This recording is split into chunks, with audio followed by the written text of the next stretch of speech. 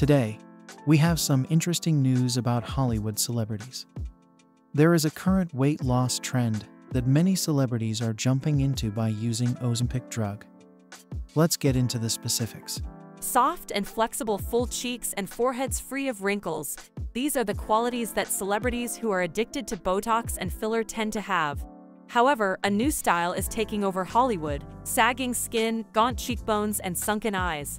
Experts claim it's because weight loss medications are becoming more and more popular. The name for this side effect is Ozempic face.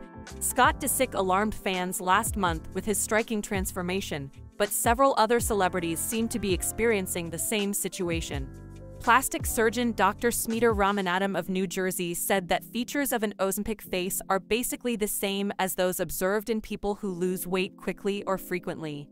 We see a loss of volume in the face, and when we lose fat in the face, we see signs like the cheeks are more sunken in, more sagging skin, and a general hollowing out of the features. Sometimes it can have the effect of actually making a person look older because the fat in our cheeks is what gives us a more youthful look. According to Dr. Sue Decotiis, a weight reduction specialist who has recommended Ozempic to hundreds of patients, weight loss appears more pronounced on people with longer faces due to the way the skin stretches.